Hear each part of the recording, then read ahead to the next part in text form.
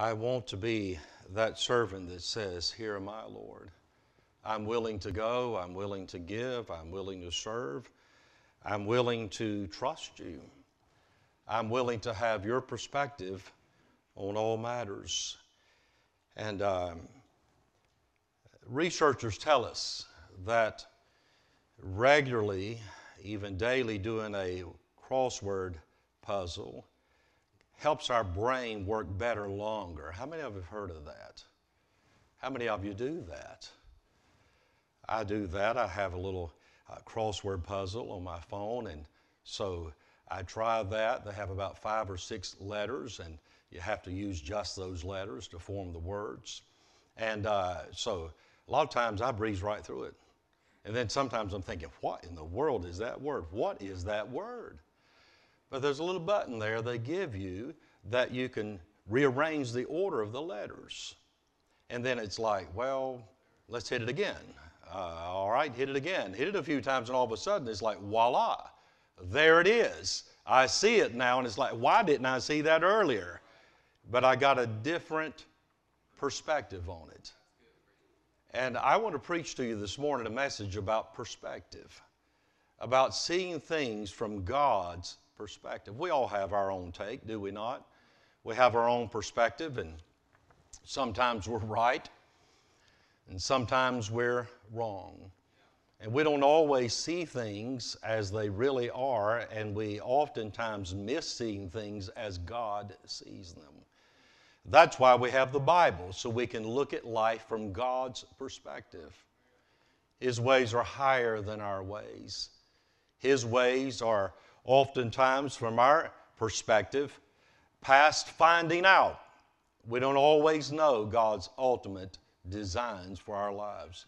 But we know this we can trust the one who does know.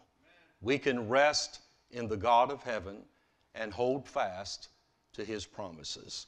And so I want you to take your Bibles and turn with me in God's Word to the book of Genesis, the book of beginnings. Genesis chapter 37, and I want you to find a, your place here as we began. Genesis 37.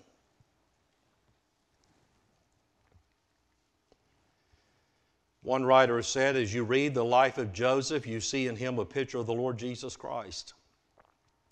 Joseph was greatly loved by his father, hated and envied by his brothers, plotted against, sold as a slave, arrested unjustly, and made to suffer. But he went from suffering to glory and became the Savior of the people who had rejected him.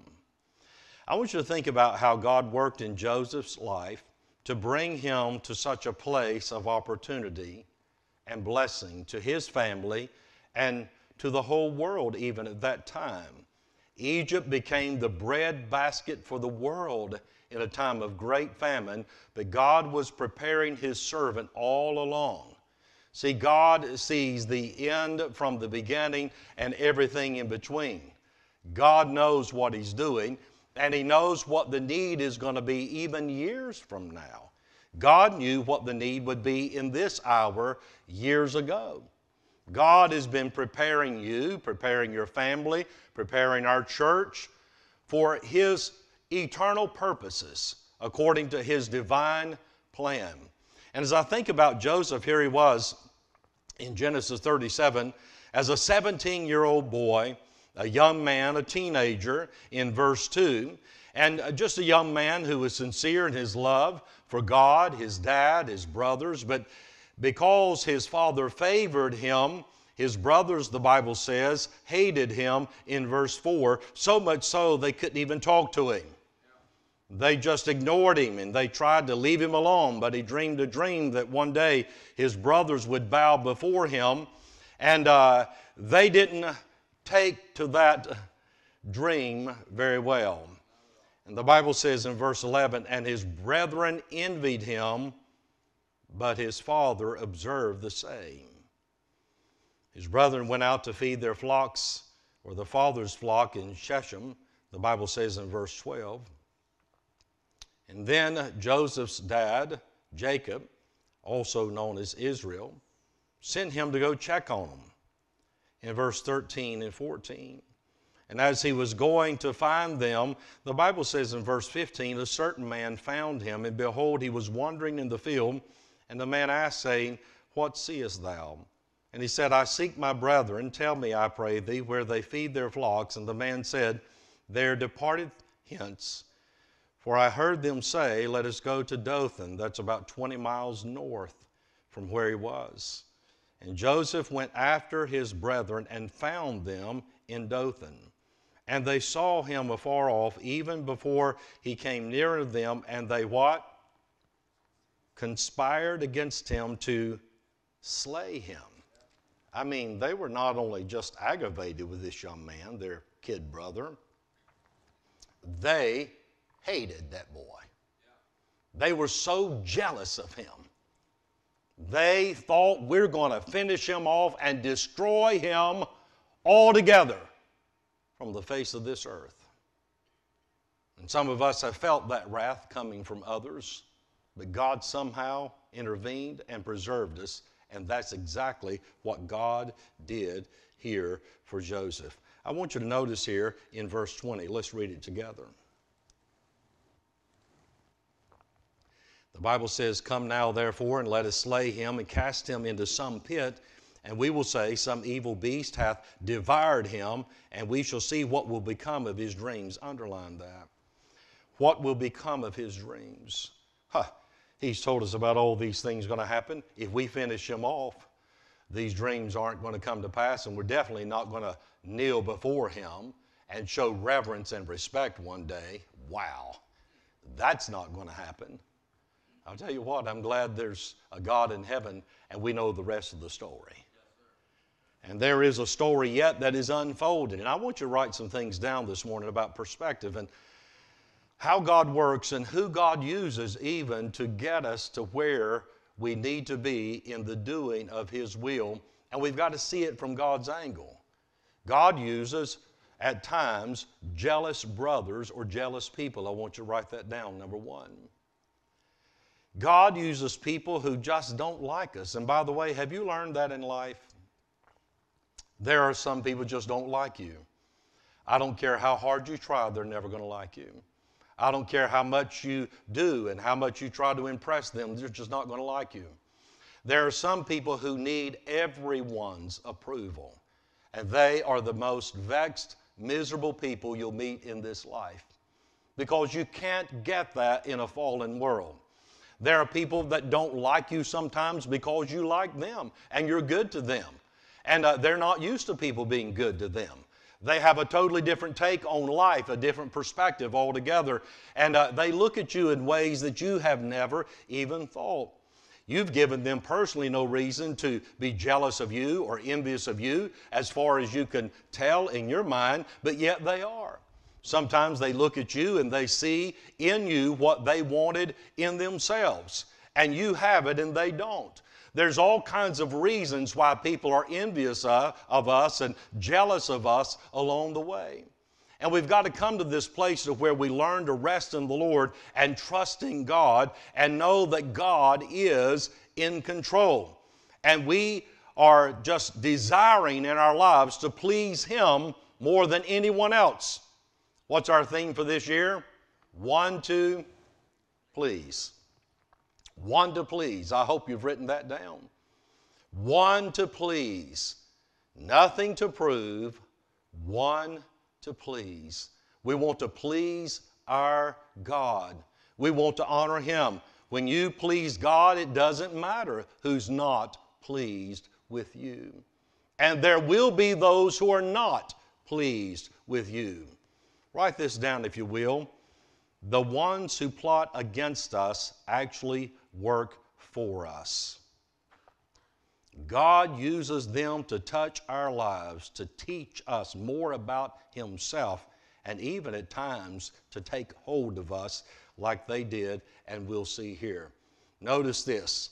The Bible goes on further in verse 22. Let's read that. And Reuben said to them, shed no blood, but cast him into this pit that is in the wilderness, and lay no hand upon him, that he might rid him out of their hands to deliver him to his father again. And so one was going to try to deliver him, but yet God was still superintending this, and it came to pass when Joseph was come to his brethren that they stripped Joseph out of the coat, that coat of many colors that was upon him, that was the coat that his father made, that made them even more envious. And they took him and cast him into a pit, and the pit was empty, and there was no water in it. And they sat down to eat bread, and they lifted up their eyes and looked, and behold, a company of Ishmaelites came from Gilead with their camels bearing spicery and balm and myrrh, going to carry it down to Egypt. Now, I want you to underline this in verse 25 a company of Ishmaelites. Sometimes God uses jealous brothers, sometimes He uses someone out of the blue, someone we've never met, someone in our lives. This is what struck me about this passage here is that here they were plotting how to get rid of him, but yet God was going to get Joseph down into Egypt. Remember that? And uh, and so out of the blue comes this band of Ishmaelites. And it's like, here they are. It's like, well, let's just sell him to these guys. They happen to be going to Egypt, right? They happen to be going exactly to where God was trying to get Joseph. And yet, God was superintending all of this. There are people that God moves in and out of our lives, and they sometimes for us, we don't know them, never met them. We wonder how it happened that they're in our path, and then all of a sudden we realize that literally they are someone from out of the blue, from out of the sky, out of heaven. God sent them in to our lives. It's a powerful reminder as to who God is and how God sovereignly is working on our behalf. All of a sudden, there's this band and they're going down to Egypt. And God's going to use them to take Joseph there. Number one, jealous brothers, the ones who plot against us, actually work for us. Number two, someone out of the blue. God uses natural things in life to accomplish His supernatural purposes, the common for the uncommon. Look for God in it. This is just a band of Ishmaelites that happened to be there descendants of Ishmael, those that are interchangeably known as the Midianites also, the son of Abraham and Keturah, his concubine, after Sarah died. And so this was like a nation within a nation used interchangeably here in this text. But God was behind it all. God used this common, ordinary, natural people just Hey, we're going down to Egypt. We're going to sell some of these things we got here. Well, what do you think about our brother? You want him? How much you want for him? And they thought, we'll take him and we'll get him to Egypt and sell him once we get there. Amazing, is it not? But God's purpose and plan is unfolding yet. Look with me over in Genesis chapter 39. This is powerful. I love the story of Joseph.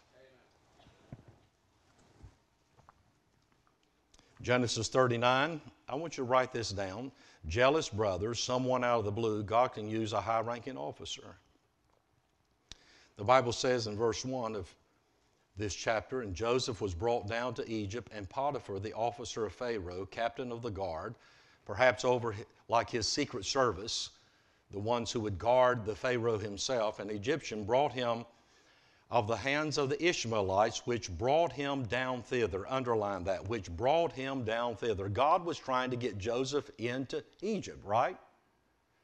There, God was going to not only raise him up and use him, but God was going to birth, forge a nation, the nation of Israel, the very apple of his eye.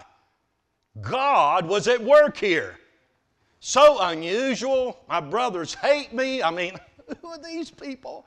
How did I ever end up here? You ever been there? I never thought this, Lord. I thought when I sincerely yielded my life to do your will, I really thought that it would just all kind of come together and make sense for me. A lot of times it's not going to make sense for you. In fact, it's going to make no sense at all at times. But it's in those moments where we're not only going to have to trust God, but we can trust God. God is trustworthy. You can count on God to always be who He's always been, to do what He has said He will do. And God used this high ranking officer. But I want you to notice something here in these verses and circle them. I, have circled them here in this chapter. Verse 2 And the Lord was with Joseph. Verse 3 And the master saw that the Lord was with him, and that the Lord made all that he did to prosper in his hand. Notice verse 5 And it came to pass from the time that he had made him overseer in his house and over all that he had, that the Lord blessed the Egyptian's house for Joseph's sake, and the blessing of the, say it, the Lord was upon all that he had in the house and in the field. Again, this continues to unfold. The Bible says, as Potiphar's wife falsely accused him in verse 21, but the Lord was with Joseph. He was cast into prison. But notice verse 23 the keeper of the prison looked not to anything that was under his hand because the Lord was with him. And that which he did, the, the Lord made it to prosper. Don't ever leave God out of the equation of your life. Don't leave God out of the equation of your present circumstance. It is the Lord who makes all the difference. Jehovah, the self existent one, the true living God of heaven, has a purpose and a plan in your life. He may use jealous people. He may use someone out of the blue you've never met before and think, wow, how did this kind of happen? How did we meet? God can use a high ranking officer, someone in some kind of capacity in life. God can use someone who is just a false accuser. See, that's how Joseph ended up in prison, falsely accused by Potiphar's wife. I want to tell you, if you're going to do something for God, not everybody's going to sing your praise. They're not only going to be those who are envious of you, but they're going to be those who rail against you and try to discredit you, diminish you, dismiss you, destroy you. Falsely accused. I don't know what's going on in your life today, but I want to tell you there's a God in heaven. And we think if we're in God's will, everybody's happy. Everybody is going to celebrate it. That's not true. We all, like sheep, have gone astray. We've turned everyone to our own way. We all have a measure of pride and self will in us. That's our sin nature. Isn't that right? And when we feel slighted and someone else acknowledged or elevated, sometimes not only does that jealousy kick in, but that desire to tear down and to falsely accuse. I'll tell you, that's one of the hardest things to bear when you know, as best you know, you've tried to do right, and someone is alleging that you've done wrong. Have you ever been falsely accused? Totally misunderstood, totally misrepresented. See, it's about perspective. How many times I've thought as a pastor, I thought, if they could just see my heart, and the Lord reminds me they can't. See, that's one reason why we don't want to leave God out of our situations because we can't see other people's hearts. That's why Jesus said in Matthew chapter number 7 that we're to judge not. The word judge there means that we're not to condemn others. We're not to write them off and, and, and just chalk it up and say, But I know your heart. No, you don't.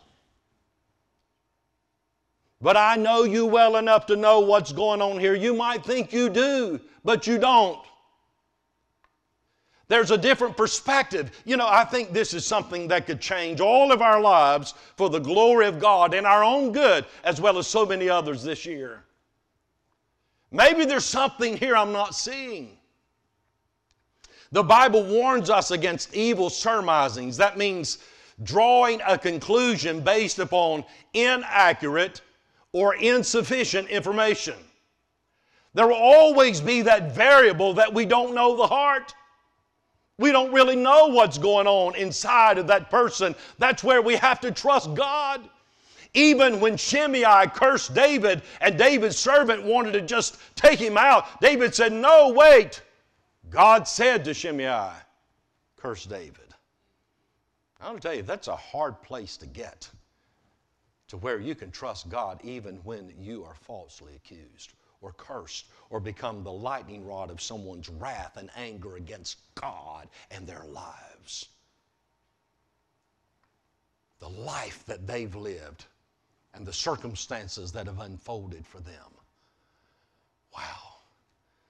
That can be an amazing thing. Now, here's Joseph, a heart for God, a heart for his dad, his brethren, willing to do what is right to help his family, help his dad. He's going to check on his brothers. They plot against him. And then they end up selling him into slavery. Just putting him in the hands of someone who would take him and put that in motion. Here he was at Potiphar's house. But you know what? This is something that as I studied this that God reminded me of. It wasn't just that God got him to Egypt. We say that sometimes in a more broad way. God got Joseph down to Egypt. But God got Joseph not only down to Egypt, but he got him right to Potiphar's house where he would be falsely accused. God orchestrated that. I'll tell you, you can include God in every circumstance of your life.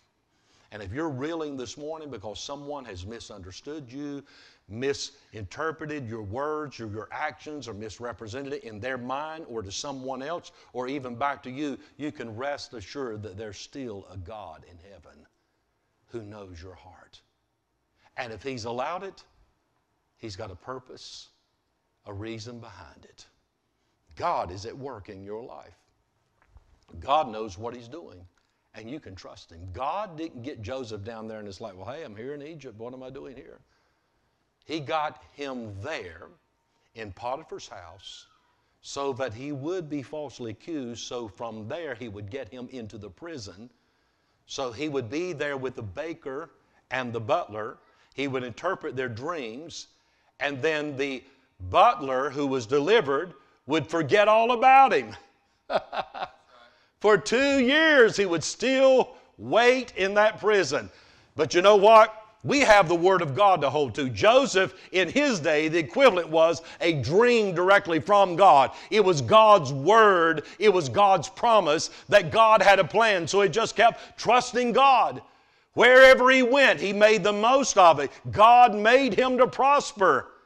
He just flourished there in Potiphar's house. He flourished there in the prison. He did his best wherever he was.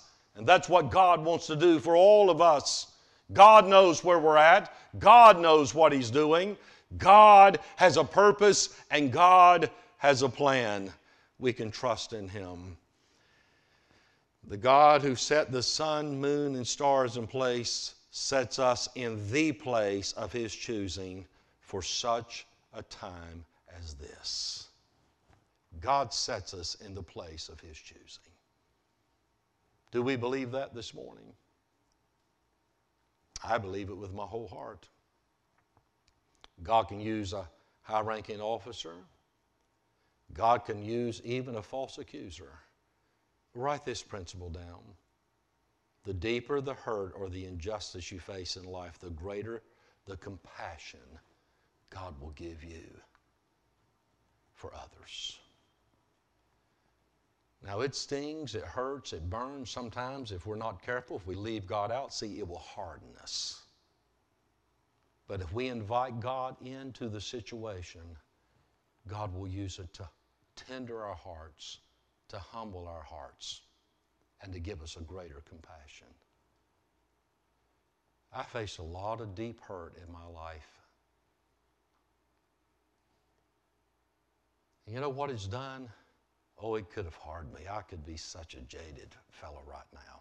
Oh, my, so cynical, so bitter, so mad.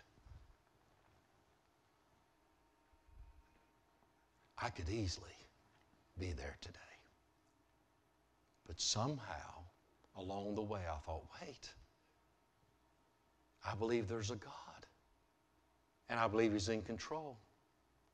And I believe that somehow, if I'll deal with this in faith, that means include God in it. The Lord. You see, the Lord, the Lord, the Lord. Don't leave God out of it. Say, God, teach me. Lord, what are you doing? Help me to trust you. Oh, Lord, help me to be more like you. Help me to rely upon you. Lord, I don't want to go to prison. I don't want to be falsely accused. Well, who would want to, right? it was all a part of God's unfolding plan, His will for Joseph and his life, but not just for Joseph, it was for all of his family and all of his people, for a new nation, as well as the Egyptians and beyond. God was at work. God's at work in your life. He knows what He's doing. God wants to deepen your capacity to love Him and to love others, to look beyond their fault and see their true need, not to be petty or vindictive or just to shoot back when someone takes a pot shot at you or just somehow diminishes you or tries to discredit you. Give that to God and be not overcome with evil, but overcome evil with good. That's what God wants. God knows what He's doing. And I don't know where you're at and what you're facing, but I'll tell you another person God uses is that forgetful butler. People, they said they would help us, but they never came through. You ever been in a situation like that? You've had people who said, I'll be there for you if you need me, let me know. And then all of a sudden you got up against the wall, you were hard pressed, and you called them. It's like, oh. I remember one day someone told me they were going to do something a little while past, and I came back to them and I said, You know, are you still able to do what you said? And, and I didn't ask them for it, they just offered it to me. Said, This is what I'm going to do to help you in this area. And they said, Did I say that? I'm like, Well, yeah. I mean, well, I don't think if I did say that, that that's what I meant. Here's where I really meant. And I thought, wow, that's a bummer.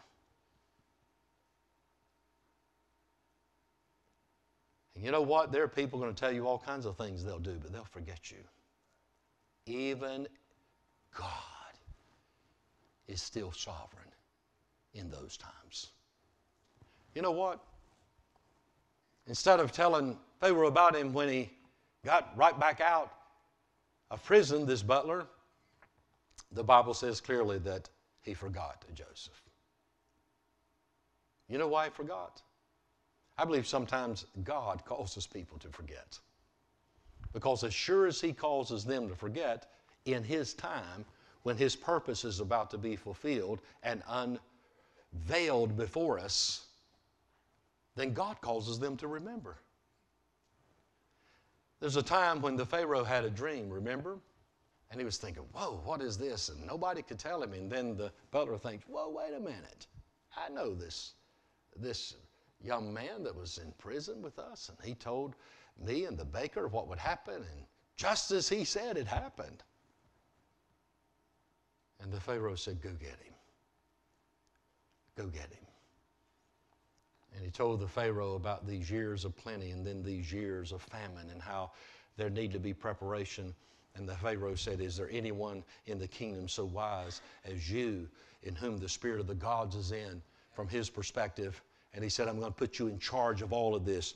You'll be second only to me in all the kingdom. Everyone else will do what you tell them to do.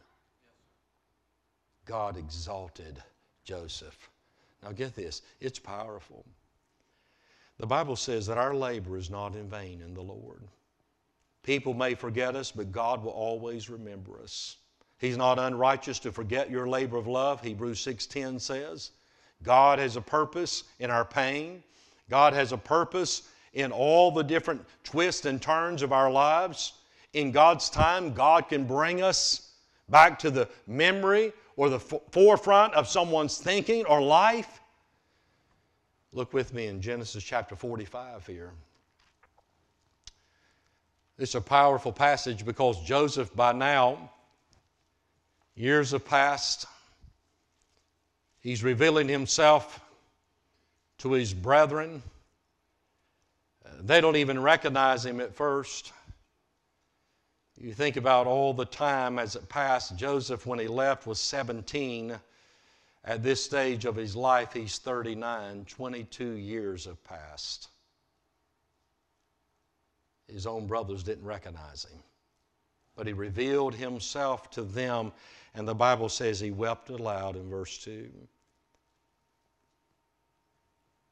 He says in verse 3 I am Joseph, doth my father yet live? Oh, how he yearned upon his dad, no doubt.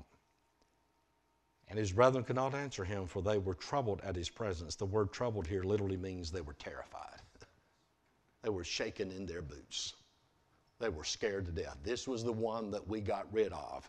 I mean, we hated so much we were going to kill. And, uh, and finally we thought, well, we'll show him some mercy, but we'll send him so far away, we'll never hear from him again. And we'll go and take that coat of many colors and dip it in animal's blood, and, and we'll go to our father, and he'll be convinced that he's gone. And he was. Jacob said about his son Joseph, he is without a doubt, without a doubt, no doubt about it He's dead. He's gone.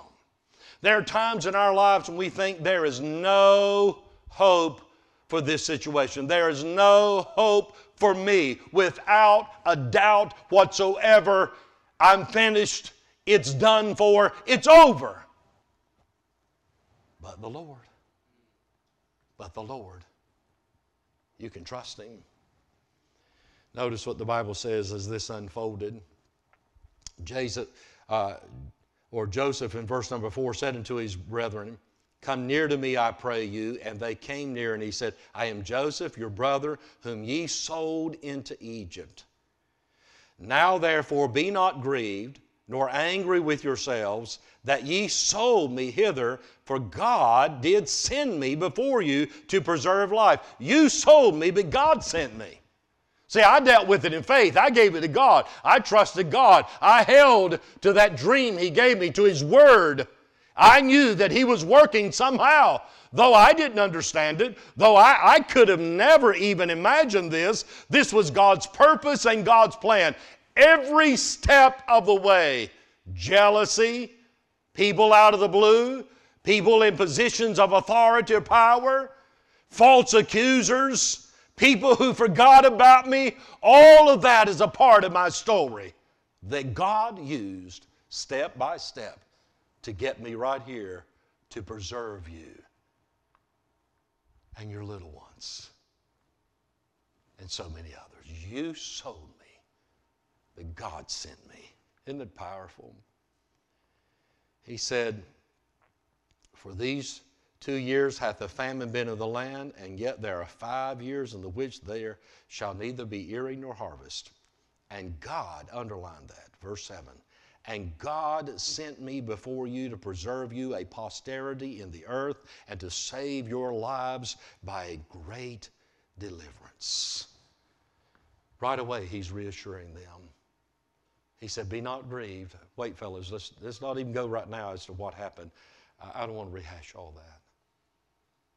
I've given that to God. I loved you then, I love you now. I dealt with this in faith, and look what God has done. God had a purpose, and it is right before our very eyes. You know, I'm glad we can trust God in this, aren't you? We can trust God. Whatever we're facing, whatever's working against us, whoever's working against us, we can trust God. If you'll turn to chapter 49, the Bible talks about Joseph and how he was fruitful before God. The Bible says in verse 23 the archers have sorely grieved him and shot at him and hated him.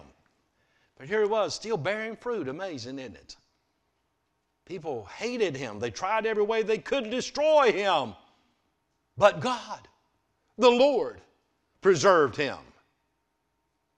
But his bow abode in strength, and the arms of his hands were made strong by the hands of the mighty God of Jacob. From thence is the shepherd the stone of Israel, even by the God of thy father who shall help thee, and by the Almighty who shall bless thee with blessings of heaven above, blessings of the deep that lieth under, blessings of the breast and of the womb. The blessings of thy father hath prevailed above the blessings of thy progenitors or your ancestors unto the utmost bound of the everlasting hills. They shall be on the head of Joseph and on the crown of the head of him that was separate from his brethren. Oh, sometimes we feel so left out, so forgotten, so abandoned and forsaken. But God, God has a purpose in our pain. God's plan is unfolding, and we can trust Him to do what He's determined in His time. In the service of the Lord, the greater the blessing, the greater the price, the greater the reward. You say, Lord, I really want you to use my life. Well, the to the extent that God will use your life, in direct proportion of that, will be times of proving, even times of pain, a price to pay. As one writer stated, Joseph was the vine that went over the wall, separating Jews and Gentiles. He was shot at by his brethren, which often happens to those who are especially blessed of God. But the Lord was with him, strengthened him, and extended his boundaries of blessing. Joseph suffered, and his sons were blessed by God. Reuben sinned, and his sons lost the blessing of God. I want to tell you what, there's a lot of our stories that have not been fully written nor revealed yet. I'll tell you what is the most important part of your story and mine today, and that's the way it ends the last chapter. 2021, we're writing another chapter, right? Yes. This might be my conclusion. I don't know. It might be yours. But I'll tell you in life, it's not how you start, it's how you finish. We can finish well and we can finish strong by just trusting God. You say, Well, I'm put to the worst. I'm up against it. I don't know what I'm going to face. I don't know what our country's facing. God knows. And we can trust Him. We can rest in Him. He knows where we're at, He knows exactly what He's doing in each of our lives. In chapter 50 here, the Bible says, it's an amazing verse. I want you to think of it. Chapter number 50, just look there. The Bible says in verse 20, But as for you, ye thought evil against me. Yes, you did indeed. But God, there it is again, underline that. But God meant it unto good, to bring to pass as it is this day to save much people alive. God meant it unto good. What perspective do you have on your trouble, your trial, someone else's life, even? Just remind yourself you don't always see the whole picture. You never see the heart. Only God could see that. Are there different perspectives that God can give you? Yes. You just need to be mindful that there are other angles, and maybe from your angle, what you're seeing is not enough to determine what's going on in that person's life or even in the dynamic of your relationship with that person. Why don't you step back and say, God, help me to see this from another angle? Give me your perspective on the matter. Lord, help me to see it like you see it. I'll tell you what, it'll change your life for good, for the glory of God and the blessing of others. We ought to love people enough to give them the benefit of the doubt to deal with them in good faith and in good will, to let God be the judge. You know what I've learned about people? You can give them to God. You ever done that? And as God does deal with them, God preserves and protects his servant. Do you believe that this morning? Do we believe this? Do we believe that God is sovereignly in control and God is preparing a people? He's been preparing this church, I am convinced, for such a time as this. What is our part? What is our role? To be a voice for God, to be the salt and the light that God wants us to be in our city and beyond. This is our hour. This is our opportunity. We're going to meet God with it one day. God has had a plan all these years and has brought us to this place. And God wants to pour out His blessing upon us. I'll tell you, a nation divided needs a church united. Everyone praying together, working together, believing God, trusting God that He's God. There's nothing uh, too hard for Him. He is able, and His grace is sufficient. We're going to trust Him come what may, because in the service of the Lord, the greater the blessing, the greater the price. The greater the price, the greater the reward. The ones who plot against us actually work for us.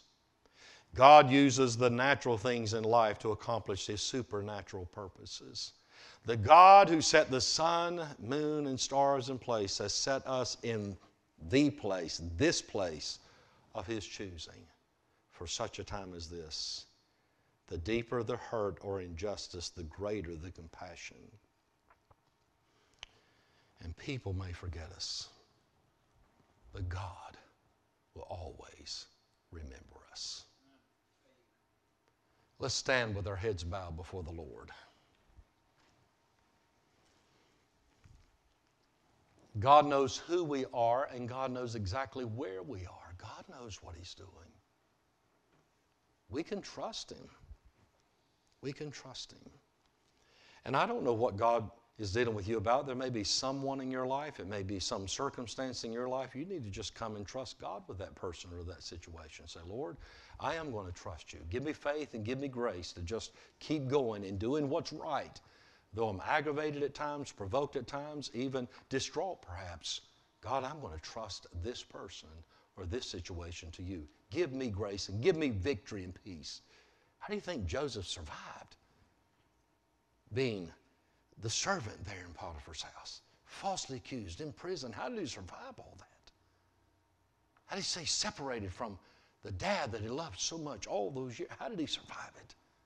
Faith in God faith in God. And some of us need to come and say, Lord, I believe. Help thou mine unbelief. Oh God, I give myself and my situation to you.